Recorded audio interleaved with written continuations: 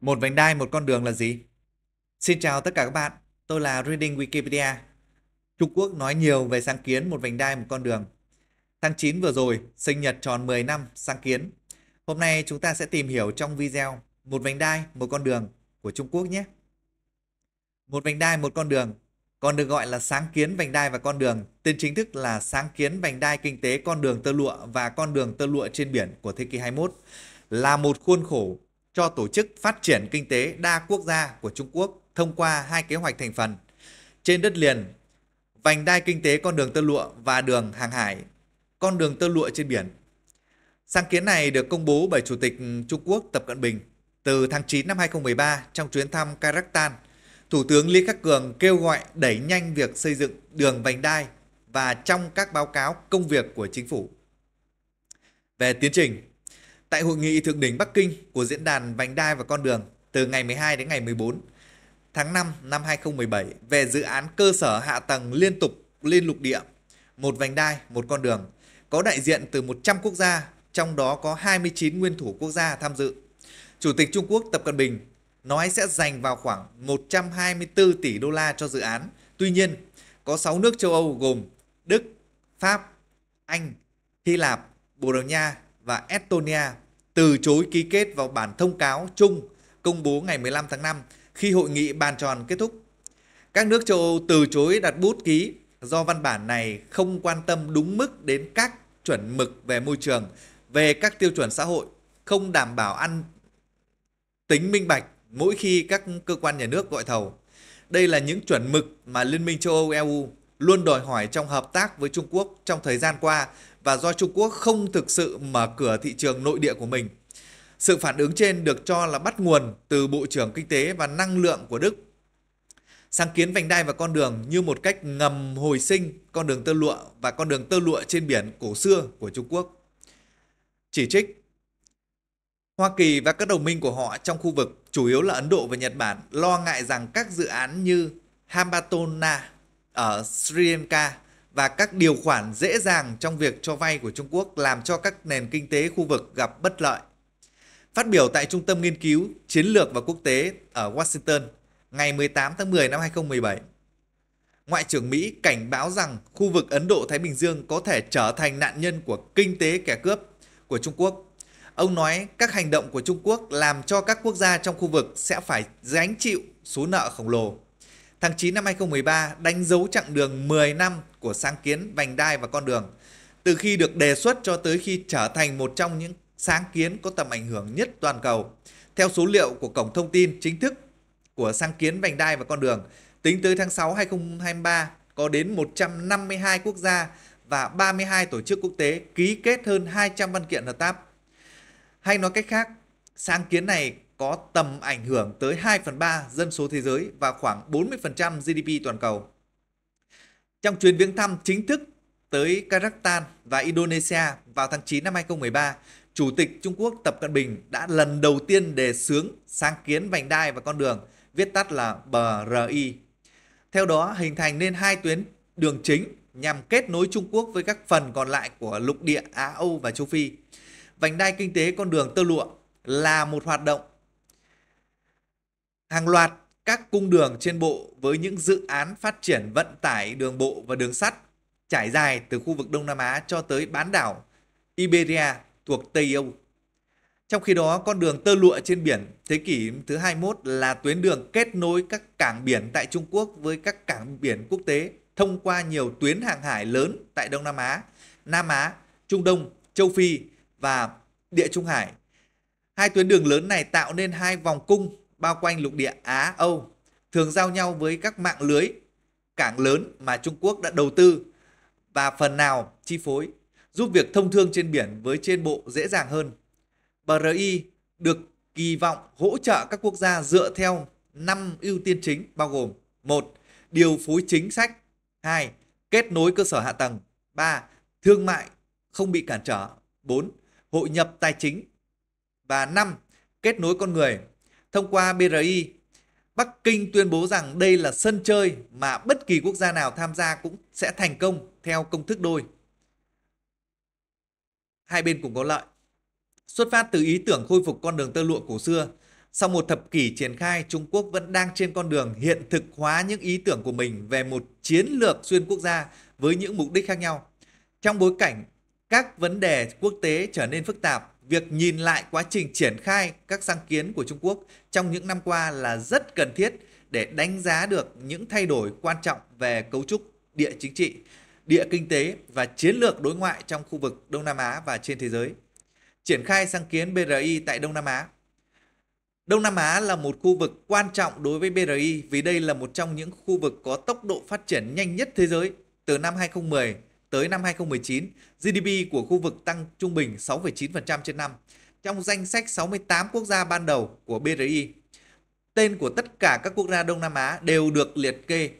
Trong số những quốc gia thuộc danh sách này, Đông Nam Á chiếm tới gần một nửa tổng lượng giao dịch thương mại với Trung Quốc và 44% vốn FDI từ Trung Quốc trong khuôn khổ BRI đổ vào khu vực này năm 2018. Các dự án lớn nhất tại khu vực của BRI hiện nay chủ yếu tập trung vào xây dựng cơ sở hạ tầng giao thông vận tải như đường sắt, đường bộ, cảng biển và sân bay và các dự án năng lượng. Về cơ sở hạ tầng, về giao thông vận tải, phần lớn các quốc gia Đông Nam Á đều đối mặt với các nhu cầu cấp bách trong việc phát triển mạng lưới cơ sở hạ tầng giao thông vận tải đủ đáp ứng tốc độ tăng trưởng của khu vực. Việc tìm đến nguồn vốn từ sáng kiến của Bắc Kinh được tin rằng sẽ giúp giải quyết những thiếu hụt về cơ sở hạ tầng này, từ đó đẩy mạnh sự kết nối giữa các khu vực và đẩy nhanh tốc độ tăng trưởng kinh tế. Trong các dự án cơ sở hạ tầng giao thông vận tải hiện nay, Trung Quốc đang đầu tư mạnh tay nhất vào các dự án đường sắt với những siêu dự án của sáng kiến BRI gần như đều nằm tại Đông Nam Á. Dự án đường sắt nổi trội nhất tại khu vực là dự án đường sắt Côn Minh, Singapore, kết nối thành phố phía Nam của Trung Quốc tới các thành phố lớn nhất của phần Đông Nam Á lục địa. Dự án được chia thành 3 tuyến chính bao gồm tuyến đường Đông chạy qua Hà Nội và tới thành phố Hồ Chí Minh ở Việt Nam, tuyến đường Tây chạy từ Yangon của Myanmar qua hệ thống đường sắt nội địa đại lý Thụy Lệ, tuyến giữa đi qua Viên Viên Chăn, Lào và giao với hai tuyến đường sắt Đông và Tây tại Bangkok, Thái Lan. Từ đó tuyến đường sắt tiếp theo đi xuyên qua Malaysia và kết nối với các điểm cuối tại Singapore. Cho tới năm 2020, phần lớn mạng lưới đường sắt này đã được lập kế hoạch và triển khai xây dựng.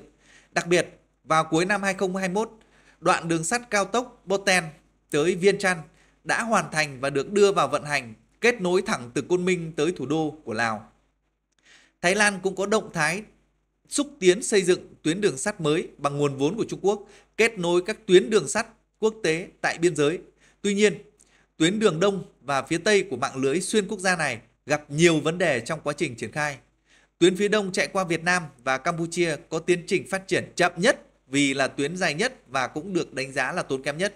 Còn tuyến phía Tây cũng gặp nhiều trở ngại khi tình hình chính trị bất ổn ở Myanmar dẫn đến các chính sách về đối ngoại luôn thay đổi, tạo nên rào cản nhất định cho quan hệ với Trung Quốc.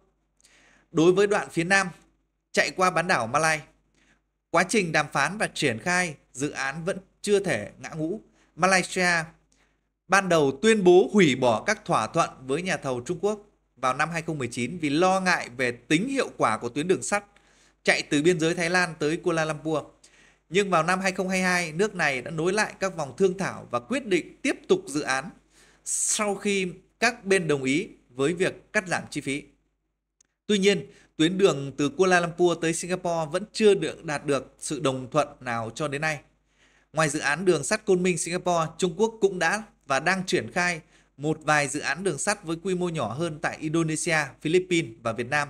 Các dự án này đều có điểm chung là tình trạng trì trệ trong việc triển khai khi dấy lên nhiều quan ngại về tài chính và môi trường. Về dự án đường sắt Côn Minh Singapore, Trung Quốc đang chuyển hướng sang đầu tư vào các dự án năng lượng xanh trên toàn cầu và cả khu vực Đông Nam Á. Sự tham gia của Trung Quốc vào ngành năng lượng nói chung đang có xu hướng giảm trên toàn cầu và đang ở mức thấp nhất từ năm 2013 đến nay. Tuy nhiên, số lượng các dự án năng lượng sạch, thủy điện, điện khí, điện mặt trời và gió lại có chiều hướng tăng. Tổng vốn đầu tư BRI vào các loại năng lượng xanh trên toàn cầu đã tăng từ 43% năm 2013 lên mức sấp xỉ 80% năm 2022. Theo dữ liệu vào năm 2019, BRI đang chú trọng đầu tư nhất vào các dự án về năng lượng tại Đông Nam Á ở mức 37% so với 24% của các cơ sở hạ tầng giao thông vận tải. Ở hơn một nửa quốc gia tại Đông Nam Á, thậm chí tỷ lệ đầu tư BRI vào năng lượng còn quá bán như Brunei là 87%, Indonesia là 51%, Lào là 60%, Myanmar là 54%, Philippines là 65% và Việt Nam là 75%. Trung Quốc hiện hạn chế tối đa và đang tiến tới loại bỏ dần các dự án mới liên quan tới nhiên liệu hóa thạch, mặc dù vẫn còn tồn tại một vài dự án mới như nhiệt điện than ở Indonesia năm 2022. Ngoài ra, Trung Quốc cũng đã đầu tư vào một số dự án năng lượng tái tạo ở Philippines và Việt Nam. Trong khi Malaysia và Thái Lan cũng nhận được đầu tư vào việc sản xuất các tấm pin mặt trời. Phát triển trên các mối quan hệ đa phương. Trong những năm năm đầu triển khai các sáng kiến liên quan đến BRI, Trung Quốc thường thiết lập các thức hợp tác dựa trên các mối quan hệ song phương. Trung Quốc được cho rằng là chưa có nhiều kinh nghiệm trong việc điều phối các hoạt động đa phương, bao gồm việc triển khai sáng kiến hay đàm phán thỏa thuận vay qua các định chế tài chính của mình. Việc đề xướng các sáng kiến cũng thường được lồng ghép trong nội dung chương trình của các chuyến thăm cấp cao giữa nguyên thủ Trung Quốc và các nước khác. Nhận thức được vấn đề, Trung Quốc đã có nhiều động thái nhằm thay đổi dần cách thức hợp tác sang đa phương. Trong năm 2017 và 2019, Trung Quốc đã lần lượt tổ chức diễn đàn BRI lần 1 và lần 2. Cả hai lần phía Trung Quốc đều ra thông cáo chung khẳng định tầm nhìn và những cam kết của Trung Quốc trong việc thúc đẩy hợp tác quốc tế, kết nối và phát triển kinh tế thông qua các dự án BRI. Trong đó nhấn mạnh tầm quan trọng của việc tôn trọng lẫn nhau, tính toàn diện và hợp tác cùng có lợi trong bối cảnh quản trị kinh tế toàn cầu. Đồng thời tái khẳng định khái niệm cộng đồng chung vận mệnh. Kể từ năm 2013, các khoản đầu tư được kết nối lòng lẻo dưới biểu ngữ của BRI đã thu hút rất nhiều sự chú ý và chỉ trích vì những tác động địa chính trị, tài chính và môi trường. Với những thay đổi về môi trường địa chính trị, Hoa Kỳ gọi Trung Quốc là cường quốc xét lại với hàm nghĩa một quốc gia mới nổi muốn sắp xếp lại trật tự thế giới, còn khối Liên minh châu Âu EU gắn mác Trung Quốc là đối thủ mang tính hệ thống vì coi nước này là đối thủ kinh tế đang tìm cách giành vị trí lãnh đạo về công nghệ mang tính hệ thống và đang thúc đẩy cho một mô hình khác về quản trị nhà nước và xã hội. Vì vậy, trong diễn đàn BRI lần 2, lãnh đạo Trung Quốc đã nhấn mạnh về một giai đoạn phát triển mới của BRI, đặc biệt cải thiện danh tiếng của BRI trên trường quốc tế và xanh hóa các sáng kiến của mình với nhiều khoản đầu tư vào năng lượng xanh. Việc đa phương hóa BRI được tin rằng sẽ giúp Trung Quốc mở rộng phạm vi tiếp cận của sáng kiến và thể hiện được vai trò lãnh đạo toàn cầu của mình nhiều hơn. Trong khu vực Đông Nam Á lục địa, Trung Quốc muốn gắn cơ chế hợp tác với Mekong Lan Thương vào khuôn khổ của BRI, tận dụng nguồn lực đáng kể của mình. Trung Quốc Mekong Lan Thương đã triển khai 45 dự án cùng với 13 sáng kiến hợp tác, đồng thời hỗ trợ tài chính cho khoảng 90 dự án trong các quốc gia tiểu vùng Mekong mở rộng. Với vị trí vị thế trên, khi đang sở hữu các đập thủy điện ở thượng lưu sông Mekong, Trung Quốc có thể sử dụng ngoại giao thủy lợi bằng cách điều tiết và kiểm soát dòng chảy dòng sông. Đây được coi là một đòn bẩy chính trị hiệu quả, hoặc là đi theo sự dẫn dắt của Trung Quốc, hoặc là chấp nhận rủi ro kinh tế và sinh thái. Đối với quy mô rộng hơn trên cả khu vực Đông Nam Á, Trung Quốc cũng đang tích cực triển khai các sáng kiến của mình thông qua một vài cơ chế như Quỹ Hợp tác Đầu tư Trung Quốc ASEAN hay Hành lang Kinh tế Trung Quốc Đông Dương nhằm kết nối các thành phố lớn nhất của Đông Nam Á và thúc đẩy khu vực mậu dịch tự do ASEAN Trung Quốc. Các hoạt động sáng kiến của BRI toàn cầu theo như đề xướng ban đầu, BRI được quảng bá là một sáng kiến kết nối cơ sở hạ tầng khổng lồ giữa lục địa Á Âu và châu Phi. Tuy nhiên, đến năm 2018, Trung Quốc đã đưa Mỹ Latin vào hệ thống con đường tơ lụa trên biển của mình. Thậm chí Trung Quốc còn đề xuất con đường tơ lụa trên trên băng. Khi muốn gộp cả khu vực Bắc Cực vào hệ thống BRI, về mặt kinh tế có thể thấy một trong những động lực quan trọng nhất khiến Trung Quốc mở rộng bản đồ BRI chính là vì nhằm vào những nguồn tài nguyên dồi dào của các nước trong khu vực này.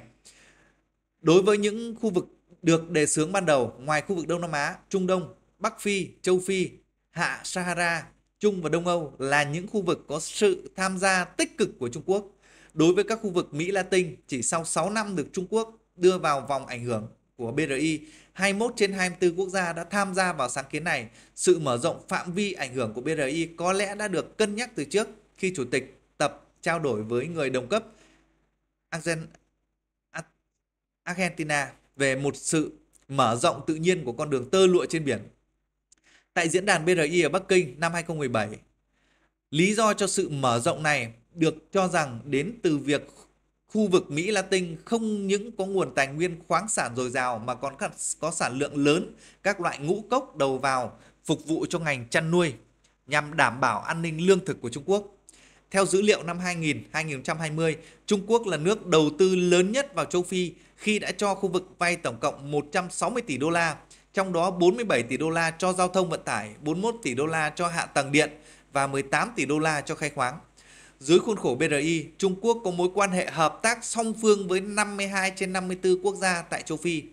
Theo Thời báo Hoàn Cầu, quản lý bởi Nhân dân Nhật Báo, cơ quan ngôn luận chính thức của Đảng Cộng sản Trung Quốc, cho biết Trung Quốc đã giúp các nước châu Phi xây dựng hơn 6.000 km đường sắt, 6.000 km đường bộ, khoảng 20 cảng, hơn 80 cơ sở điện lớn, hơn 130 bệnh viện và 170 trường học.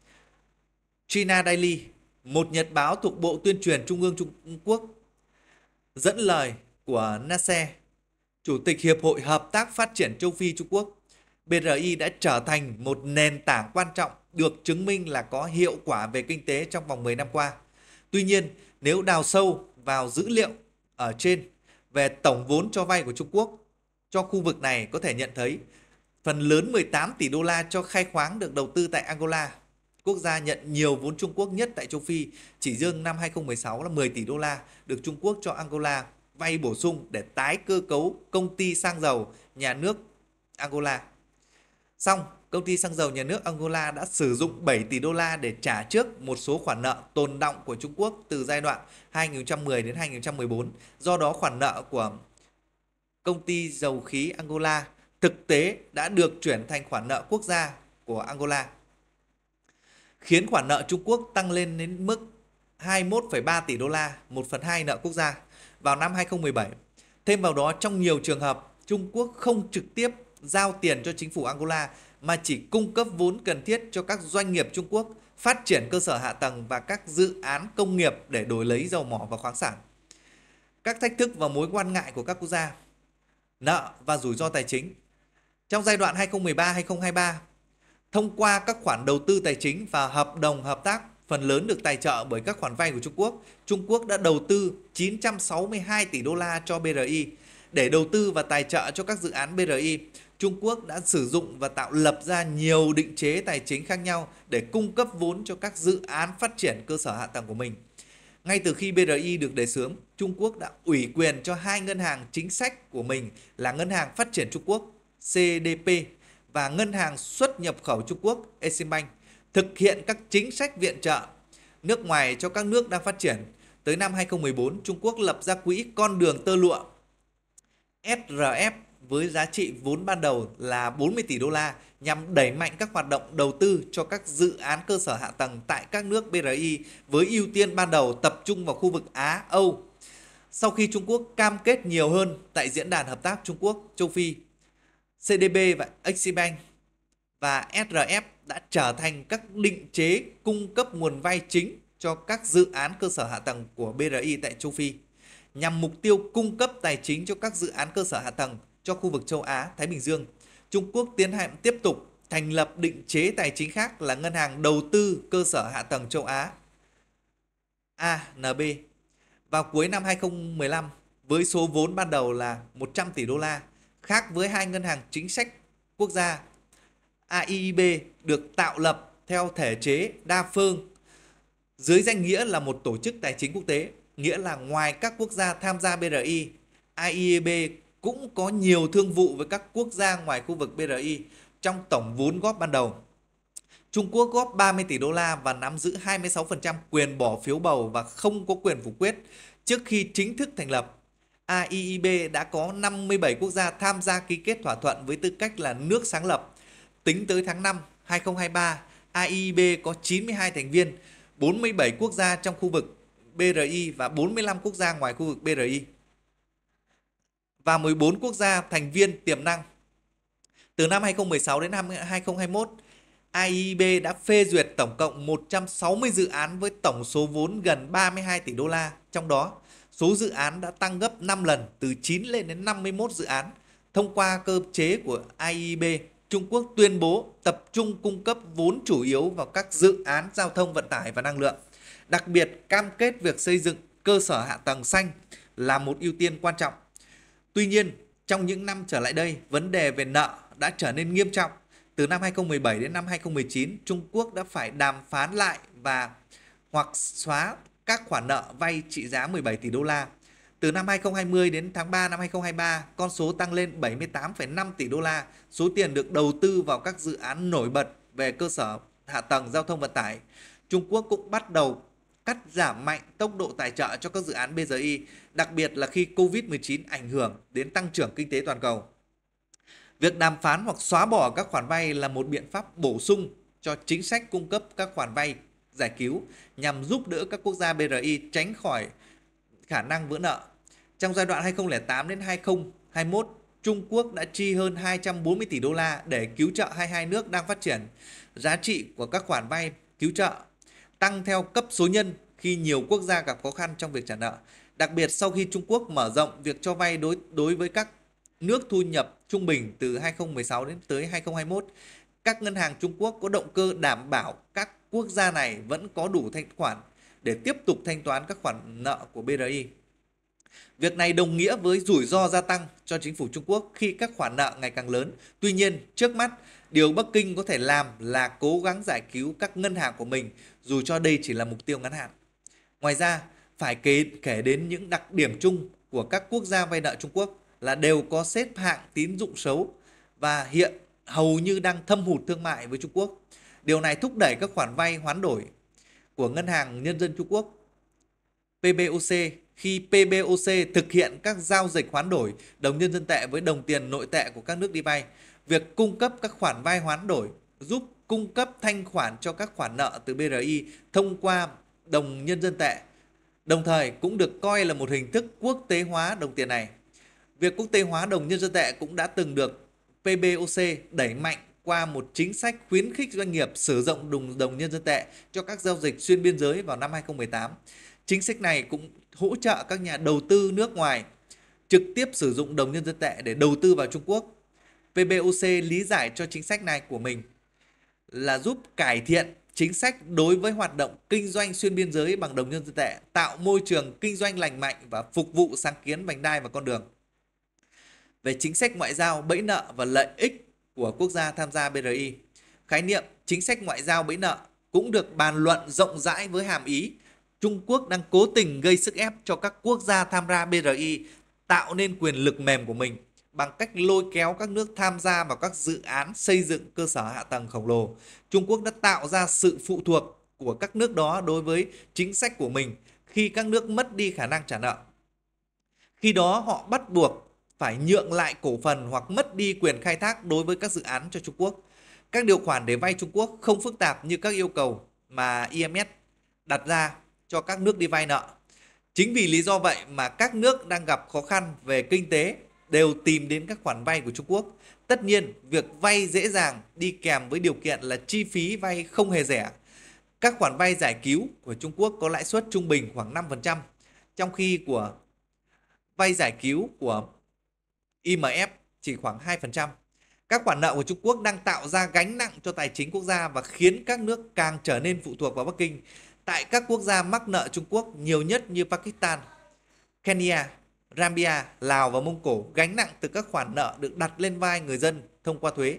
Dự trữ ngoại tệ quốc gia cũng dần cạn kiệt khi các nước dùng ngoại tệ để thanh toán lãi cho các khoản vay. Thống kê cho thấy 50% tổng các khoản nợ nước ngoài của các nước này là từ Trung Quốc và họ phải sử dụng 1 phần 3 tổng thu nhập công để trả nợ.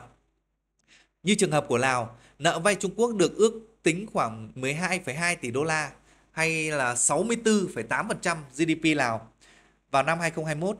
Riêng dự án đường sắt Boten, Viên Trăn có chi phí 6,9 tỷ đô la, trong đó Eximbank cho vay 60%. Chính phủ Trung Quốc và chính phủ Lào lần lượt góp khoảng 30% và 10%. Tuy nhiên, trong số 10% này tương đương 730 triệu đô la, Lào chỉ góp được 250 triệu đô la và phải vay thêm của Exim Bank 480 triệu đô la. Lào đã phải cam kết lấy thu nhập từ một mỏ bauxit và ba mỏ kali làm tài sản thế chấp cho khoản vay. Chính phủ Lào lạc quan rằng tuyến đường sắt sẽ sinh lời vào năm 2027, nhưng mô hình kinh tế cho thấy đường sắt Trung Quốc Lào không có khả năng mang lại lợi ích kinh tế lớn và có khả năng là một khoản nợ tiềm ẩn rất lớn đối với Lào. Ở một dự án khác, Lào đã phải nhượng quyền cho một công ty Trung Quốc quyền xây dựng và quản lý lưới điện quốc gia trong vòng 25 năm để đối lại đổi lấy việc xóa nợ. Mặc dù dự án phát triển lưới điện là liên doanh giữa Lào và Trung Quốc, nhưng các quan chức Lào đã tuyên bố rằng họ không có khả năng quản lý và vận hành đường dây điện, đồng thời ca ngợi tài chính, năng lực, công nghệ của và nhân lực của Trung Quốc. Tính hiệu quả của các dự án xây dựng cơ sở hạ tầng của Trung Quốc cần phải được đánh giá lại theo mô hình tăng trưởng cũ. Sự phát triển của nền kinh tế phụ thuộc nhiều vào bất động sản, xuất khẩu và đầu tư cơ sở hạ tầng.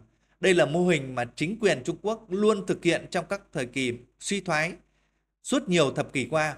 Đây cũng là khẳng định của Trung Quốc đối với sự tăng trưởng kinh tế của các nước khi tham gia vào các dự án xây dựng cơ sở hạ tầng do BRI.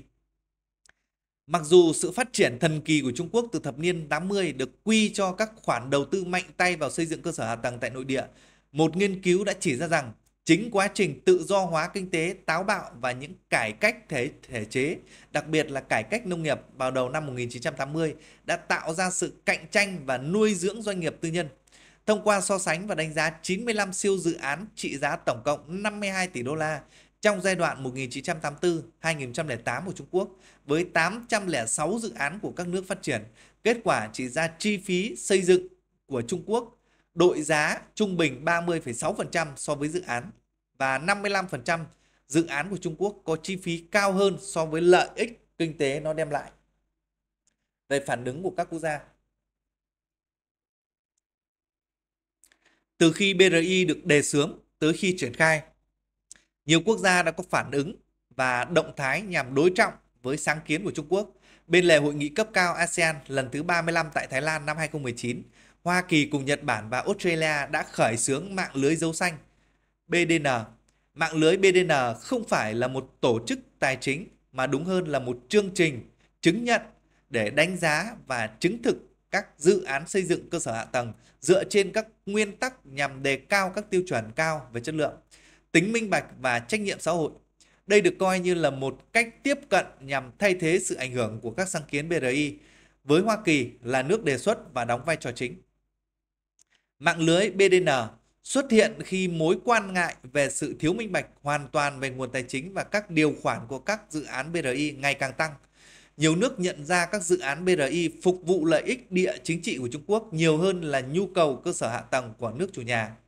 Các khoản nợ lớn đã đe dọa tới chủ quyền quốc gia của một số nước BRI, như trường hợp Sri Lanka phải cho Trung Quốc thuê cảng Hambantota với thời hạn 99 năm để trả món nợ 1,2 tỷ đô la. Việc kiểm soát cảng có thể là sự khởi đầu cho việc Trung Quốc triển khai quân sự tại khu vực này. Vì vậy, sự minh bạch và tín hiệu quả của các dự án cơ sở hạ tầng đã trở thành điểm mấu chốt mà phương Tây muốn tập trung vào để xây dựng một sân chơi mới đối trọng với BRI.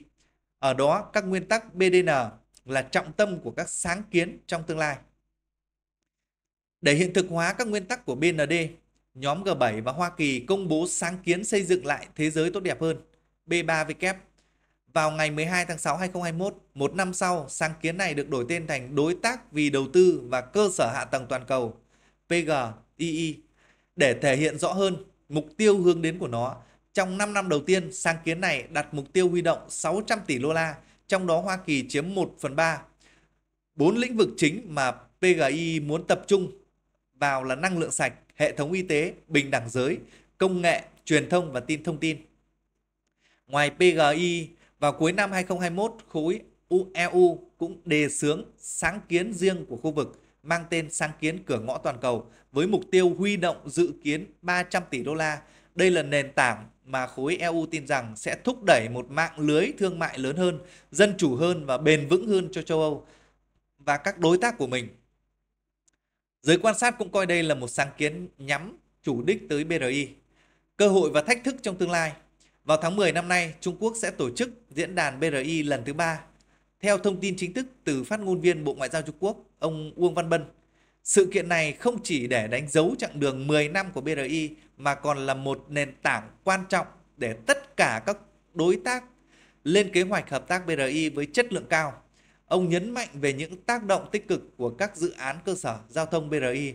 Nếu được triển khai đầy đủ, dự án sẽ tăng thu nhập thực tế toàn cầu từ 0,7 đến 2,9%, đưa 7,6 triệu người thoát khỏi tình trạng nghèo cùng cực và 32 triệu người khỏi tình trạng nghèo vừa phải. Trung Quốc coi diễn đàn này như một cơ hội để đánh giá những gì đã đạt được và vạch ra lộ trình cho tương lai, mở ra chương mới cho con đường tơ lụa với những lợi ích chung và đôi bên cùng có lợi giữa các quốc gia.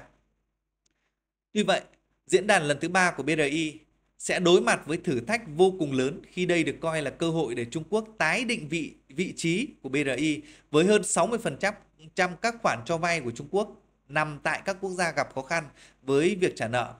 Một vài nội dung tại diễn đàn lần này có thể xoay quanh việc xóa hoặc tái cơ cấu nợ.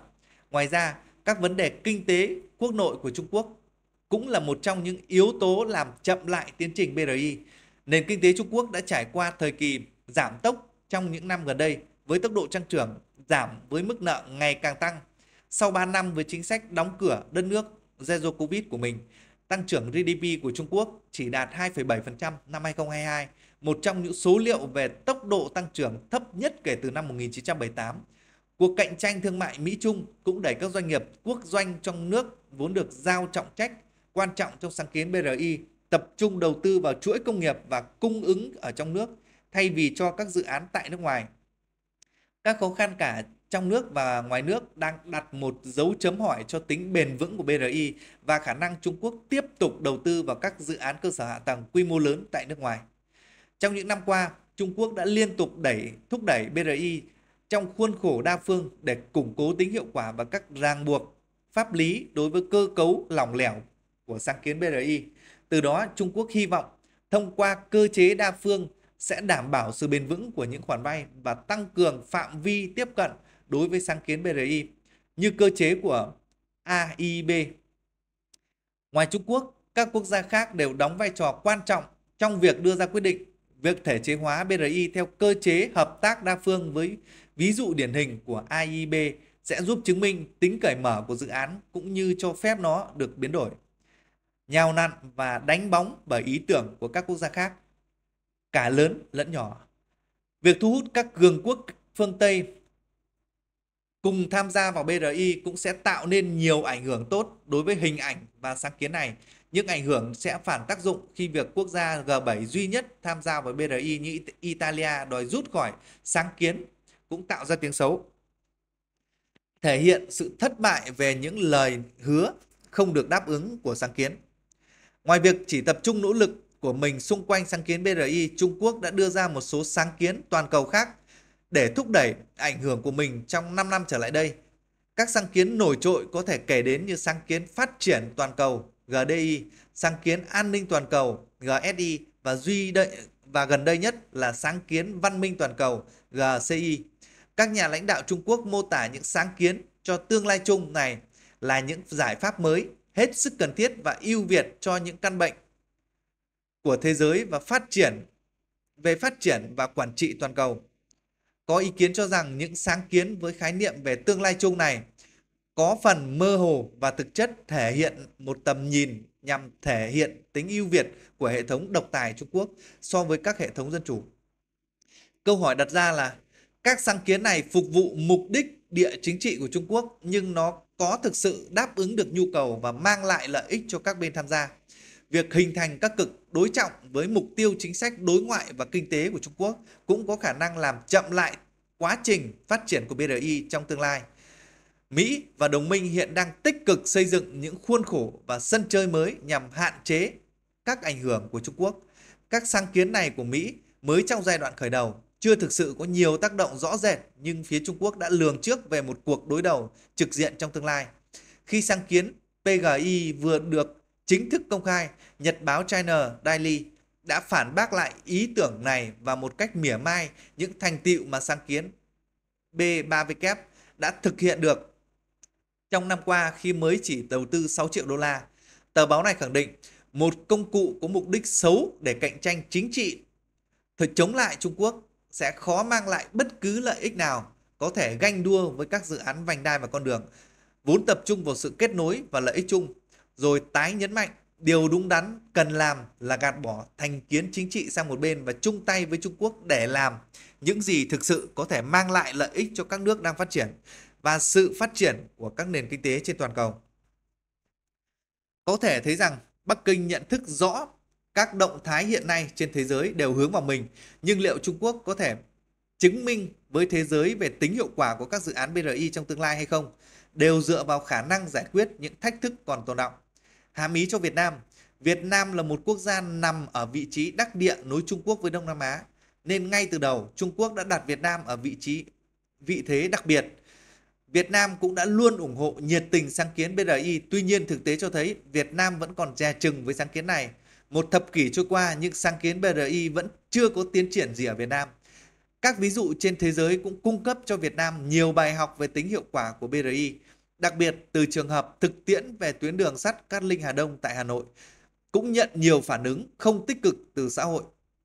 Ngoài ra, việc Việt Nam chưa thực sự tham gia vào BRI cũng có thể xuất phát từ những xung đột lâu đời giữa hai nước, vốn đã hình ảnh hình thành lên tâm lý bài Trung Quốc từ trước. Trong tương lai, nếu như Trung Quốc lựa chọn một hướng đi mà có thể cải thiện và giải quyết được những vấn đề hiện có của BRI, Việt Nam có thể cân nhắc nhưng phải thấu đáo về các dự án này. Vì nếu không, Việt Nam cũng cũng có thể trở thành nạn nhân của bẫy nợ khi đầu tư quá nhiều cho các dự án không mang lại một chút hiện quả kinh tế nào.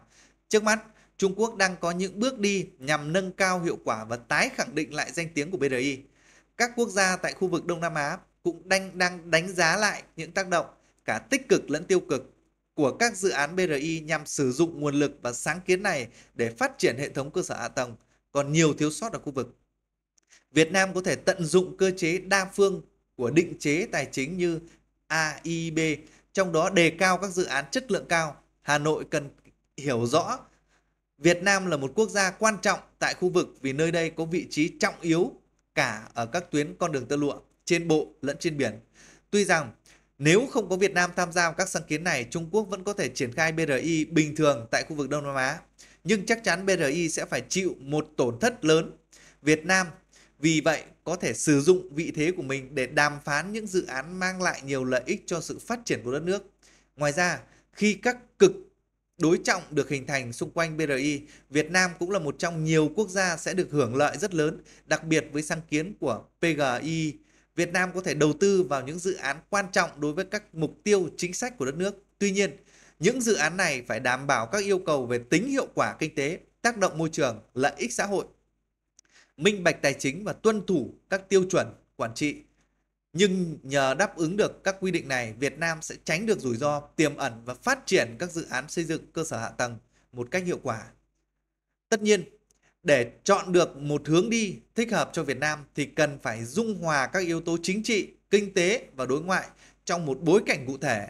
Việc này sẽ cần một sự xem xét kỹ càng để lựa chọn một phương hướng tuy không phải tốt nhất nhưng cũng tối ưu các nguồn lực hiện có của đất nước. Qua bài viết, chúng ta hiểu được rất nhiều điều từ tên gọi mục tiêu, các ưu nhược điểm của sáng kiến mà Trung Quốc rất chú trọng này.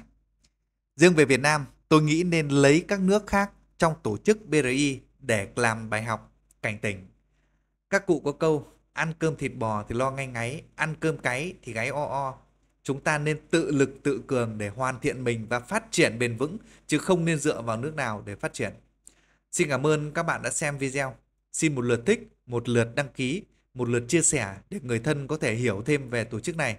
Các bạn cần tìm hiểu về đề tài gì xin hãy bình luận để ta cùng bàn bạc nhé. Nếu có khiếm khuyết gì, xin các bạn cho em xin góp ý để phát triển.